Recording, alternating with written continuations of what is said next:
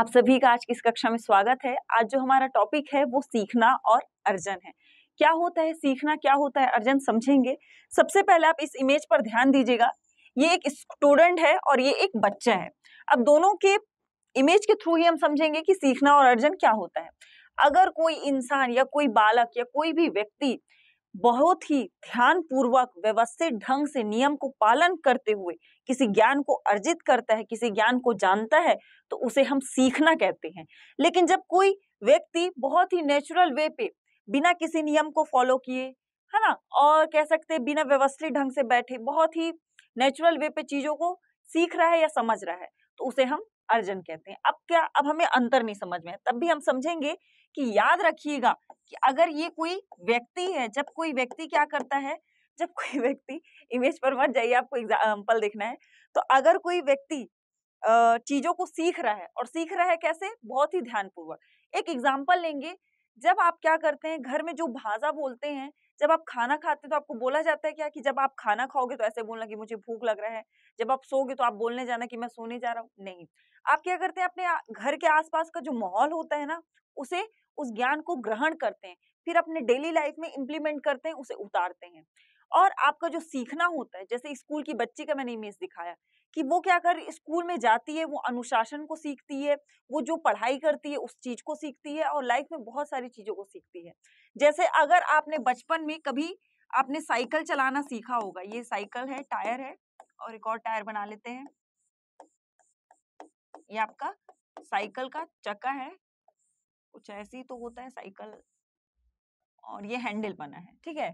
Cycle पे नहीं जाते, अभी हमें समझना है और पीछे ये आपका सीट है बैठने का। तो अगर आप बचपन में साइकिल चलाना सीखे हो, ऐसा तो नहीं है कि आप ऑटोमेटिक कोई काम कर रहे हो। याद रखिएगा, आप लाइफ में जो भी चीज़ें कर रहे हो, सीखना और अर्जन के बिना संभव नहीं है।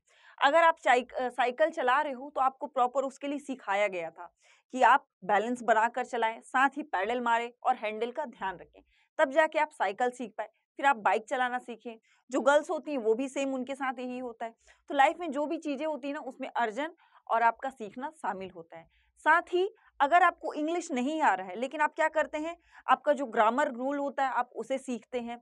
साथ ही टीचर जो आपको आदेश देता है, उसको आप फॉलो करते हैं, आप होमवर्क करते हैं तो ये सब क्या सीखने की प्रक्रिया में शामिल है। लेकिन जब आप कोई काम मनमौजी तरीके से करें, ऑटोमेटिक सीख जा रहे हैं उसे कहते हैं अर्जन। बस दोनों में यही अंतर है और इसी चीज़ को हमें समझना है क्योंकि यहाँ से सवाल आपके बनते हैं। तो ये हमारे लाइफ के लिए बहुत ज़्यादा इंपॉर्टेंट है, साथ ही आपके एग्ज़ाम पॉइंट ऑफ़ व्यू से तो इंपॉर्टेंट है ही। कुछ पॉइंट्स पर ध्यान देंगे। जीवन में हम जो कार्य भी कर रहे हैं, याद रखिएगा, जीवन में हम जो कार्य भी कर रहे हैं जिस भी क्षेत्र में विकास कर रहे हैं, वो सभी हमारे सीखने और अर्जन के माध्यम से ही हो रहा है। अगर कोई इंजीनियर इंजीनियरिंग कर रहा है तो ऐसा तो नहीं है कि ऑटोमेटिक कर रहा है, उसने उस विधि को सीखा होगा। अगर कोई मजदूर मजदूर जो काम करते हैं अगर वो घर बना लेता है, मिस्त्री लोग जो घर बनाते हैं तो ऐसा तो नहीं कि बिना सीखे बना उसने उस विधि को समझा होगा, सीखा होगा। तो ये सारी चीज़ें क्या है? इसी चीज़ को बता रहे कि आपने जाना है, आप खाना बना रहे हैं, इसका मतलब आपने खाना बनाना सीखा है। तो लाइफ में बिना सीखे और अर्जन के हर चीज़ अधूरा है। इवन आप जो नोट्स लिख रहे हैं, आपने लिखना भी बचपन में सीखा है, अक्षर बनाना आपने सीखा आप जो पढ़ रहे हैं, उसकी भी तैयारी आपने बचपन में की रही। तो ये सारी चीज़ें क्या आपके सीखने और अर्जन पर निर्भर है? तो ये क्या हमने पॉइंट देखा कि जीवन में हम जो कार्य भी कर रहे हैं, जिस भी क्षेत्र में विकास कर रहे हैं, उस सभी में हमारे सीखने और अर्जन का माध्यम से ही हो रहा है। दूसरा, सीखना अर्थात ऐसी प्रक्रिया। अब देखिएगा, बड़े ही सरल ढंग से यहाँ पर परिभाषा दिया हुआ है कि सीखना अर्थात ऐसी प्रक्रिया जिसमें हम बड़े ही ध्यान पूर्वक व्यवस्थित ढंग से किसी नए ज्ञान को क्या करते हैं? प्राप्त करते हैं। जबकि दोनों में अंतर है। जबकि अर्जन में हम अपने आसपास की चीज़ों से प्राकृतिक चीज़ के बारे में जान पाते हैं, बड़े ही नेचुरल वे पे। जब आपको कोई सिखाता नहीं है, समझाता नहीं, बस आप आसपास, जैसे आपके जो संस्कार होते हैं, आपकी जो भाषा होती है, आप बैठ के सीखते नहीं है, लेकिन आपका घर का जैसा माहौल होता है, आप उनके अनुसार ढल जाते हैं। तो ये क्या आपका अर्जन है? एक पोजिशन है। अर्जन में हम चीज़ों को जानने के लिए व्यवस्थित नहीं होते हैं, ना ही किसी नियम का पालन करते हैं, बस सीख जाते हैं, समझ जाते हैं। चलिए, आज जो हमारा टॉपिक है, चूँकि हम अर्जन और सीखना दोनों समझेंगे, सीखना जिसे हम क्या कहते हैं, जिसे हम लर्निंग कहते हैं, हमें, हम हमेशा, जब तक हम मरते नहीं है, जब तक हम मृत्यु को प्राप्त नहीं करते हैं तब तक हम लाइफ में कुछ ना कुछ सीखते ही रहते हैं। जब हम चीज़ों को सीख जाते हैं, उसके माध्यम से हमें लाइफ में कई सारे अनुभव होते हैं और उस अनुभव के आधार पर फिर हम और ज़्यादा चीज़ों को सीखते हैं।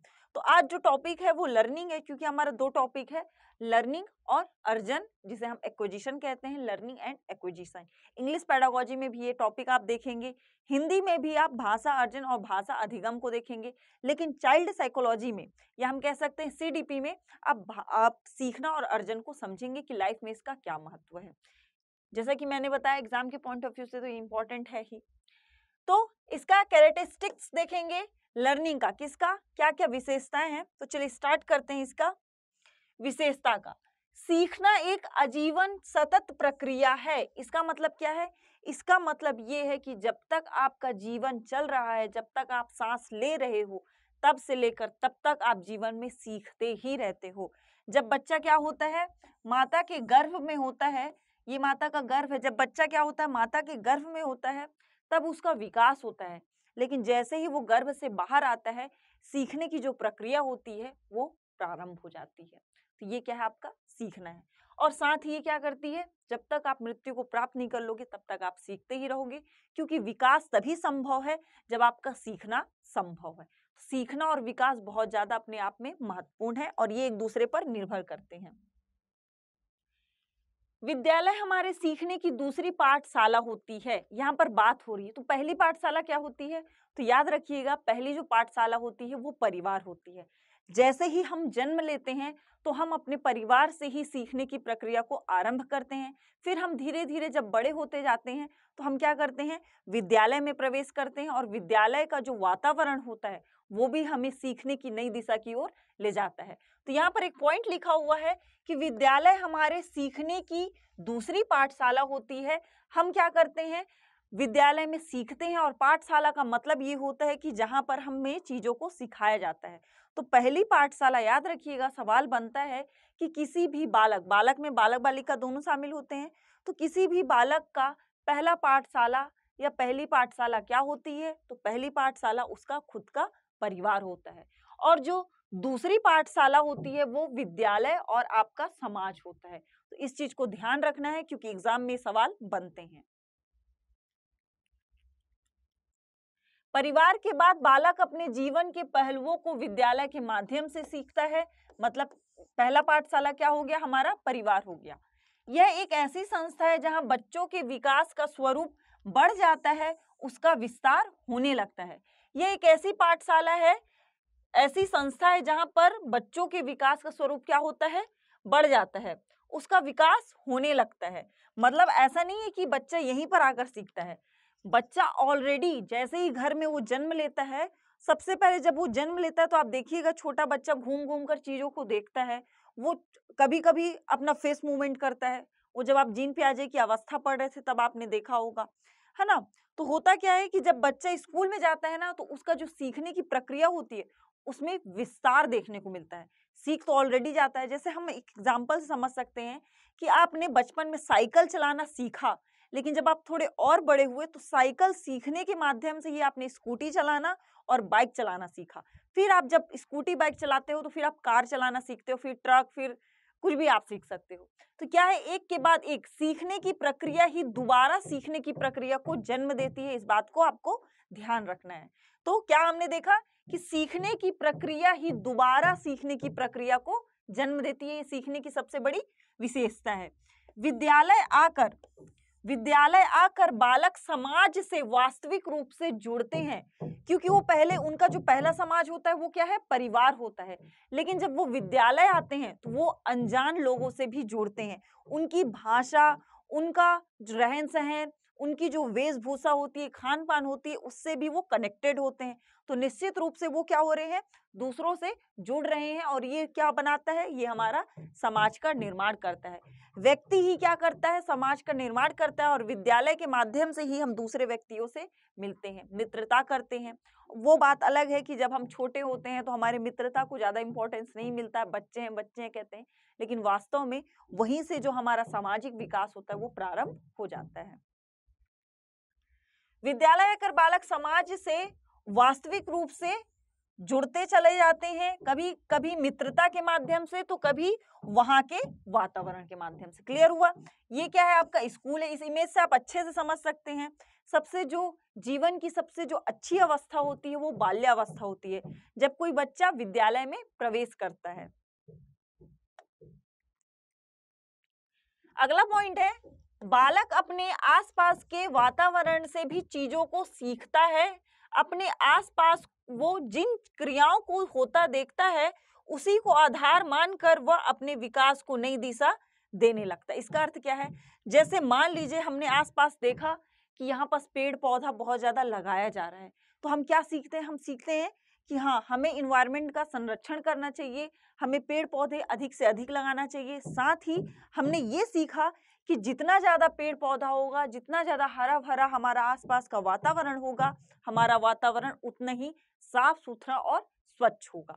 तो ये सारी चीज़ें हम सीखते हैं। अगर हम किसी क्या करते हैं, अगर हम देखते हैं कि कोई पेड़ को बहुत ज़्यादा काट रहा है, वहाँ पास वो अपना घर बना रहा है तो हम क्या सोचते हैं? उल्टा सोचते हैं कि अच्छा ये जो इतना सा ज़मीन है, जहाँ पास बहुत सारे पौधे लगे हुए हैं, उसको हटाकर मैं अपना घर बनाऊँगा या अपना दूसरा काम करूँगा। तो सीखना ऐसा नहीं कि सिर्फ़ पॉजिटिव वे पे होता है।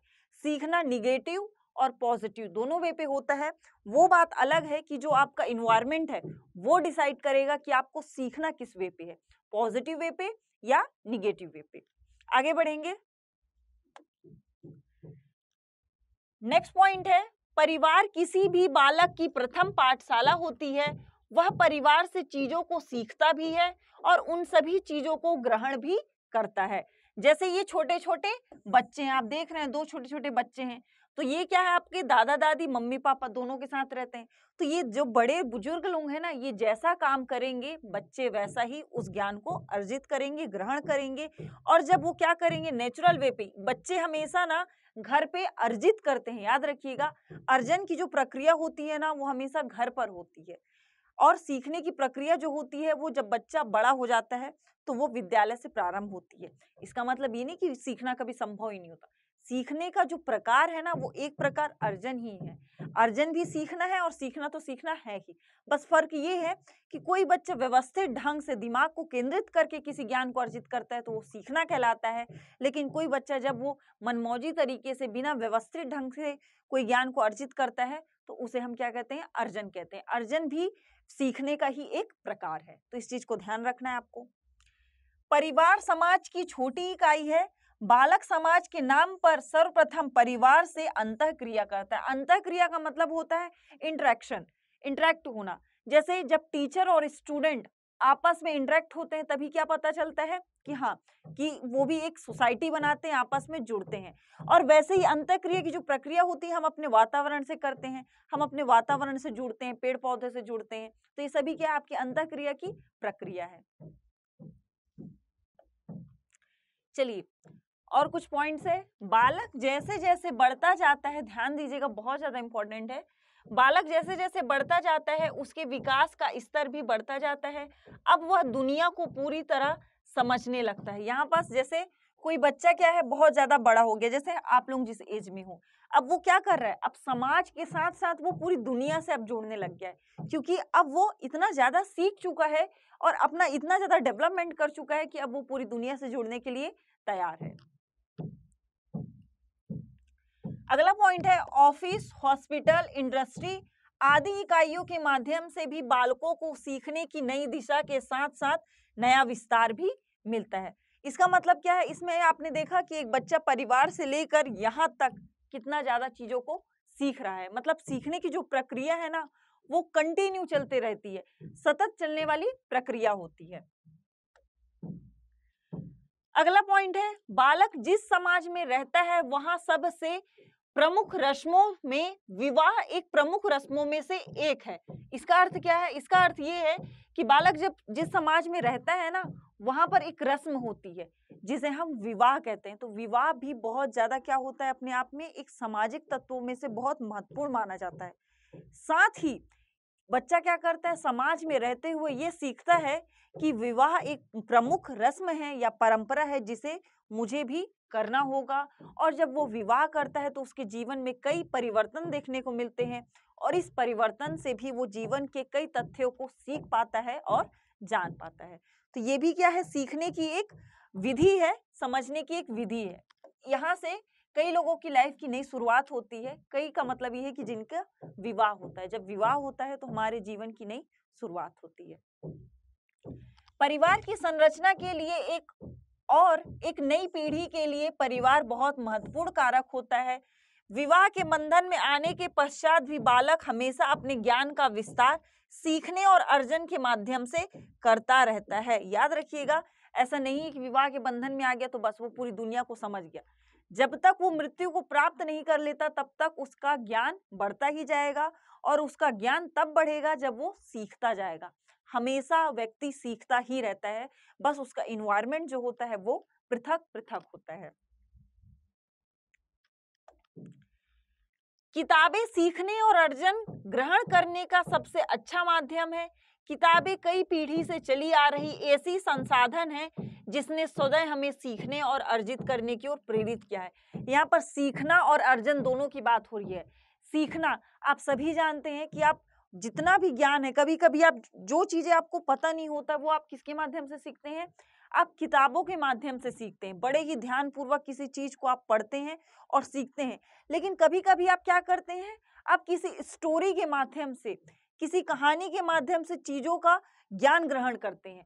तो वो क्या कहला जाता है? आपका अर्जन कहलाता है। जैसे आपको किसी ने कहानी बताई, किसी ने कुछ बातें कही तो उससे आप क्या कर रहे हो? अच्छा तो आपको एक नई चीज़ जानने को मिलती तो ये क्या कहलाता है? आपका अर्जन कहला जाता है।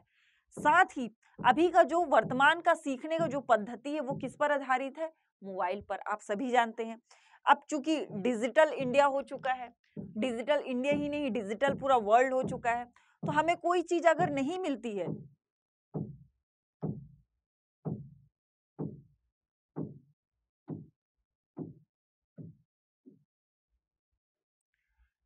हाँ ये कुछ आवाज़ आ रहा था।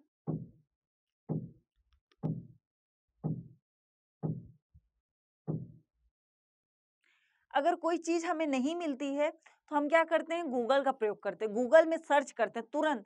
हमें कुछ भी नहीं मिल रहा तो हम क्या करें? तुरंत गूगल का प्रयोग कर रहे हैं। तो ये भी क्या है आपका? सीखने का प्रक्रिया है। तो सीखने में बहुत सारे कारक शामिल होते हैं और बिना सीखे हम किसी कार्य को ठीक से नहीं कर सकते। दूसरा क्या है? सीखना व्यवहार में एक स्थायी परिवर्तन है। जब आप सीख लेते हो तभी तो आपका जो ज्ञान होता है वो स्थायी हो जाता है। जैसे ये आपके कुम्हार हैं अगर इनको मटका बनाना नहीं आता तो क्या ये मटका बना पाते? मटका ऐसे बन, बनाते हैं आपका। ऐसे और ये आपका मटका बन गया।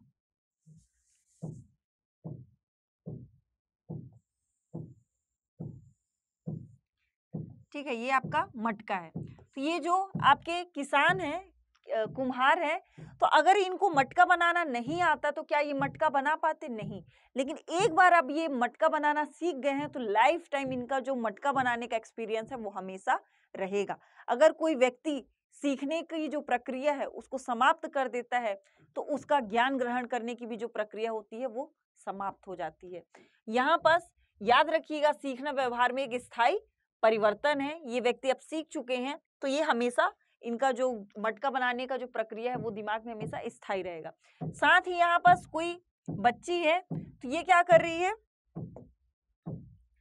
ये ड्राइंग कर रही है, ठीक है? अब इन्होंने भी तो कभी ड्राइंग करना सीखा होगा, तभी तो ये ड्राइंग कर पा रही है। तो एक बार जब हम किसी चीज़ को सीख जाते हैं तो वो हमेशा हमारे दिमाग में क्या होता है? स्थायी रहता है। तो बस हमारे सीखने की जो विशेषता है, ये उसी विशेषता की बात कर रहा है। जब हम किसी चीज़ के बारे में सीख जाते हैं तो ज्ञान हमेशा के लिए स्थायी हो जाता है। सीखना हमें स्थायी ज्ञान देता है। सीखने के बिना हम किसी चीज़ की कल्पना नहीं कर सकते हैं।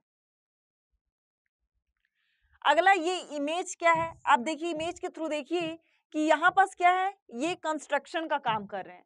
अगर इन्हें नहीं बनाना आता, अगर ये बिल्डिंग्स बनाना नहीं जानते तो क्या ये कर पाते? नहीं। इसलिए इन्होंने सबसे पहले इन विधियों को समझा, सीखा, तब जाकर ये इतना बड़ा बिल्डिंग बना पा रहे हैं, उसके निर्माण में ध्यान दे पा रहे हैं ये सभी क्या आपके इंजीनियर्स है।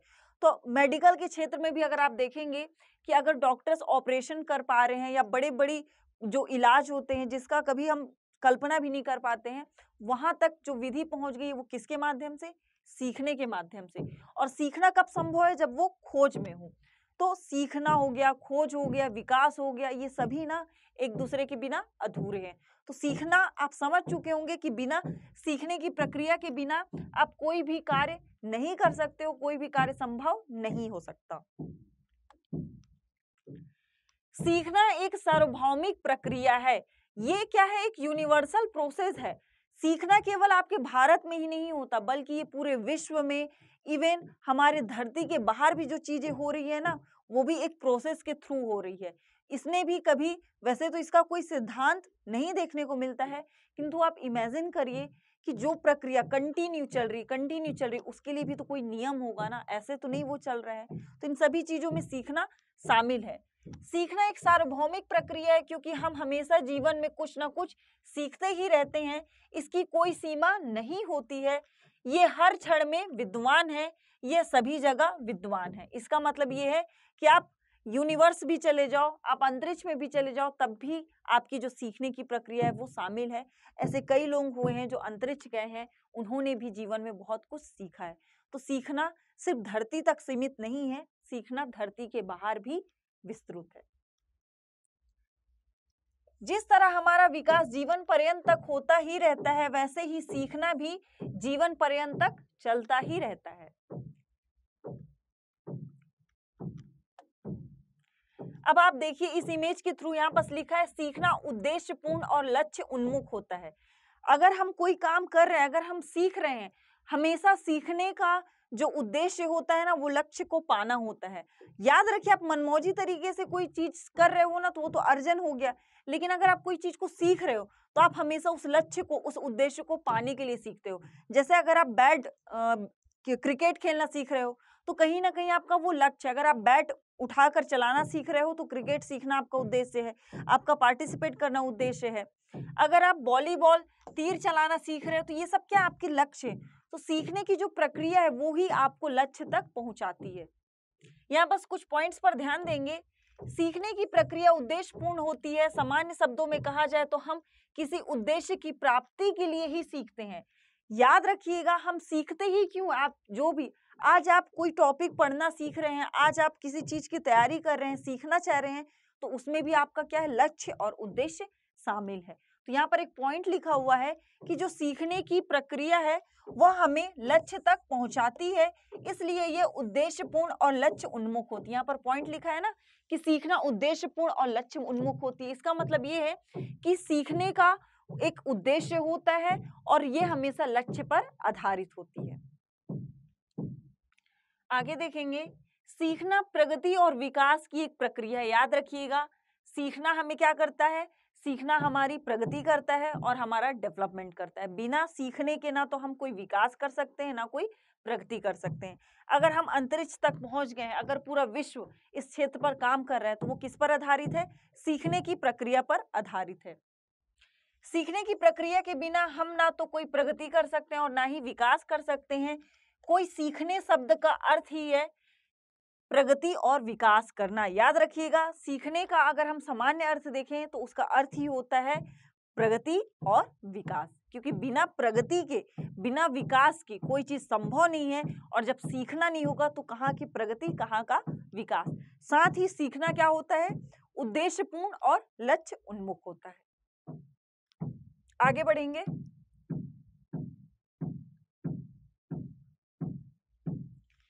सीखना अनुभवों का संगठन है। सीखना क्या करता है? हमें एक्सपीरियंस का आ, कह सकते हैं हम लोग एक्सपीरियंस देता है ठीक है? सीखना हमें अनुभव देता है या अनुभवों का संगठन देता है? इसका संगठन का मतलब क्या है? कि आप एक एक करके चीज़ों को सीखते जाते हैं, सीखते जाते हैं तो ये क्या हो रहा है? संगठित हो रहा है, ग्रुप हो रहा है।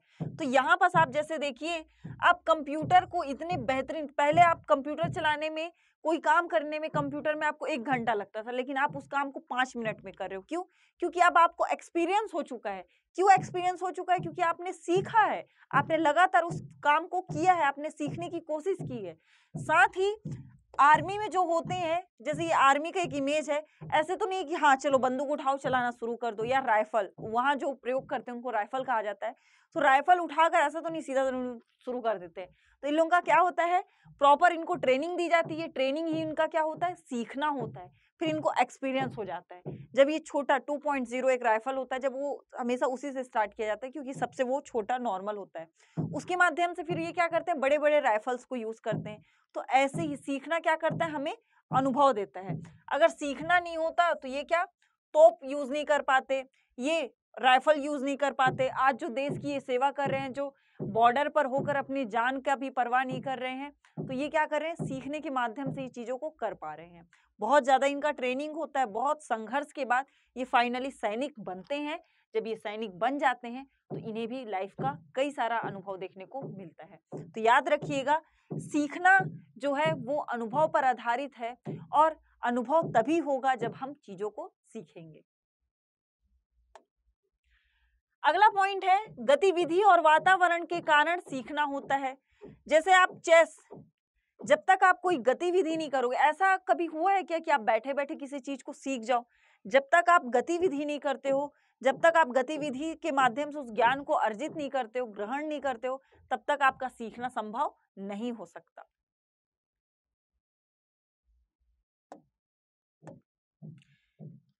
सीखने की प्रक्रिया में वातावरण और गतिविधि का विशेष योगदान होता है। अगर वातावरण हमें दिशा दिखाती है, ध्यान दीजिएगा, अगर वातावरण हमें दिशा दिखाती है तो गतिविधि उस रास्ते पर हम, चलने में हमारी मदद करती है।